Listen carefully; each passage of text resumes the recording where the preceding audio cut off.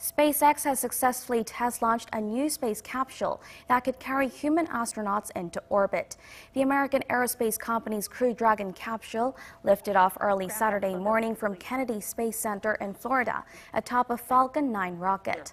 It's an important milestone for Elon Musk's private space firm and NASA's long delayed goal to resume human spaceflight from U.S. territory later this year.